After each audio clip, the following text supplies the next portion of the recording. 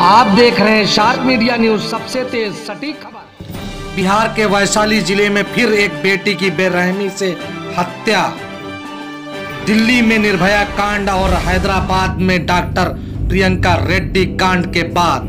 अब बिहार में एक ऐसा ही मामला सामने आया है।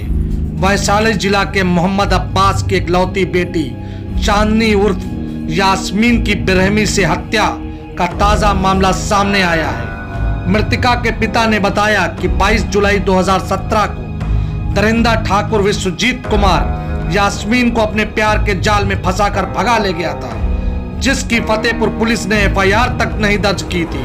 28 नवंबर 2019 को उन्हें न्यूज़ के माध्यम से पता चला कि चांदनी की हत्या हो गई है। हत्यारा ठाकुर विश्वजीत ने यास्मीन को दो साल तक यौन शोषण किया और जब वह गर्भवती हो गई तो उसकी हत्या कर दिया। वहीं किराएदारी पर रह रहे यास्मीन के मकान मालिक ने बताया कि उसे उसके पति ने ही हत्या की है जिसकी उन्होंने एफआईआर दर्ज कराई है। पड़ोसियों ने भी उसके द्वारा हत्या करने की पुष्टि की है। पुलिस ने कई ठिकानों पर दबिश दी है परंतु अब तक उसकी गिरफ्तारी नहीं हो सकी है।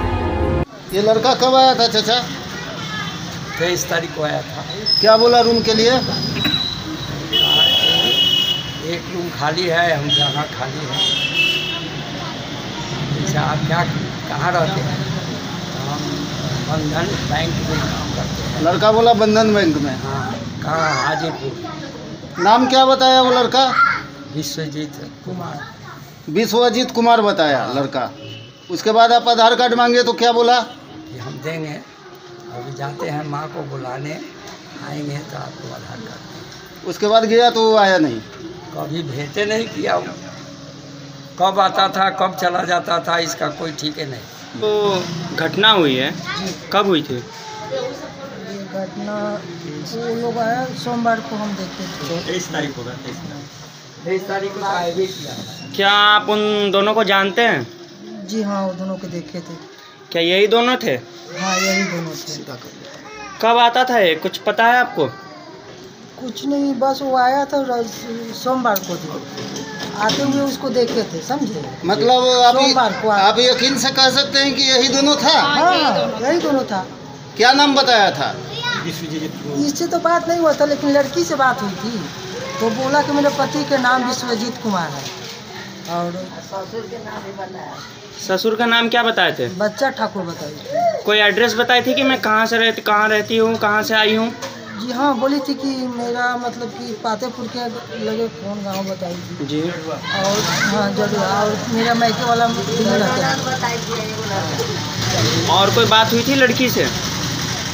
नहीं आगे बात यहाँ पे लड़का और लड़की कितने दिन रहे हैं? दो दिन। घटना के बारे में आप क्या जानते हैं?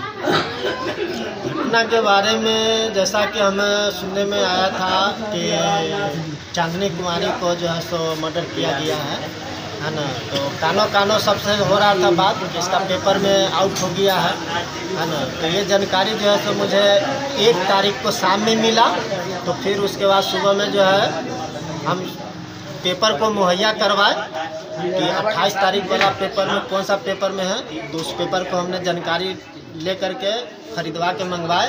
और पेपर में पढ़े तो हकीकत में लड़का विश्वजीत ही है और उसका फादर का नाम ठाकुर बच्चा प्रसाद है और एड्रेस जो है वो डरुआ के दे रखा था है ना? तो हमने फिर वहाँ से घर से अपने आकर के घटनास्थल पे आए। यहाँ पे सच्चाई को हमने पूरा तहकीकात कर लिए हैं और करने के बाद जो है सो वो एड्रेस क्या वो फर्जी था या सही था? वो उसका जो भी एड्रेस हमको देखने को मिला है वो सारा एड्रेस उसका फर्जी है। ओरिजिनल कहाँ का रहने वाला है? ओरिजिनल वो रहने वाला है वैशाली जिला ग्राम लखनीपुर मौदा थाना पातेपुर जिला वैशाली। आपका नाम? मोहम्मद अब्बास। जो आपकी लड़की से जो घटना हुई है इसकी सूचना आपको कैसे मिली और कब मिली? कल मुझे गाँव से छोटा भाई फ़ोन किया था सुबह में जी। कि ऐसे ऐसे घटना हुआ है हाजीपुर में। जी। तो हमें मालूम हुआ और कल हम जो है कंपनी से छुट्टी लेकर कल गाड़ी पकड़े और सुबह भी आए हैं। आने के बाद हम भी घटनास्थल पर आप लोग न्यूज़ रिपोर्टर के लेकर के आकर के हम जो है इसका जानकारी दे रहे हैं। और आगे कार्रवाई जो है वो मकान मालिक तो कर ही चुके हैं थाना में। जी। फिर हमको जो करना होगा अब हम करेंगे। जिसके साथ रहती थी क्या उसने घटना की हाँ। इसने किया है? इसकी पूरी आशंका आपको है? पूरा एकदम पूरा सच्ची तरीके से पता है कि वही है। नाम क्या है उसका? नाम उसका अभिजीत कुमार है। उसका बाप का नाम विश्वजीत कुमार है उसका और उसका फादर का नाम है बच्चा प्रसाद ठाकुर बच्चा प्रसाद। कहाँ के रहने वाले हैं दोनों? लखनीपुर मऊदा ये वही कमरा है जिसमें मृतिका को साजिश रचकर हत्यारा लाया और उसकी हत्या कर दी। ये वही मकान है, आप देख सकते हैं, जिसमें वो उसे लेकर आया और उसकी हत्या कर फरार हो गया।